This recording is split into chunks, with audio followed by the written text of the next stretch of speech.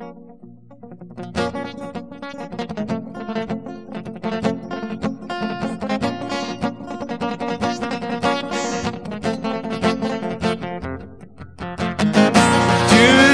ever think of the future? What do you think of it now? Do you wait for the doors to be open? Or do you fumble for the key? Where's the door of? What will you do now that the four years are over? And what will you do now that the four years are over?